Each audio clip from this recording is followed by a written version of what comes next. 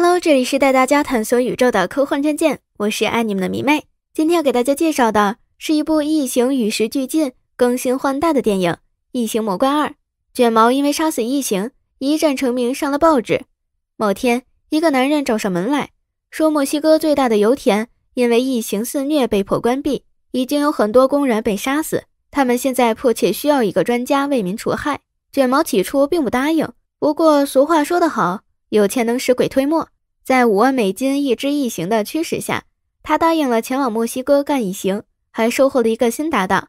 因为他曾经的老搭档已经成家，不知道多幸福，自然是不愿意冒这个险。话不多说，立刻上路。他们获得了墨西哥军方赞助的好多炸药，还有侦测异形的地震仪。根据异形听声辨位的原理，他们将一条大锁链绑在车子后面拖着跑，果然异形接二连三地送上门来。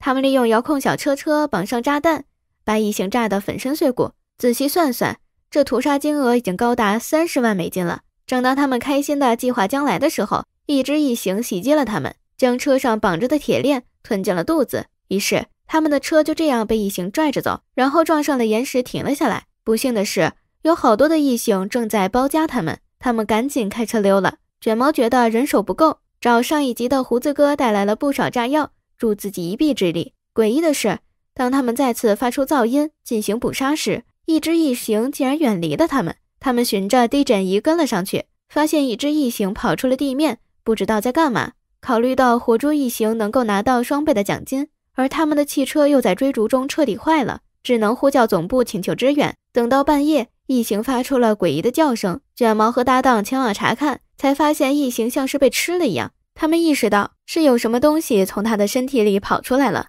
再次联系总部，无线电却失效了。救援的卡车也在不远处停了下来。他们徒步前往，才发现司机已经被吃的只剩下手了。没想到信号塔也被破坏了，难怪他们会和总部失去联系。突然，一只长着两条腿的异形窜了出来，经过进化，他们已经能在地面行走了。卷毛和搭档干掉了他。经过研究发现，他们靠头部的热传感来寻找猎物。这也是为什么他们会去毁掉信号站的原因。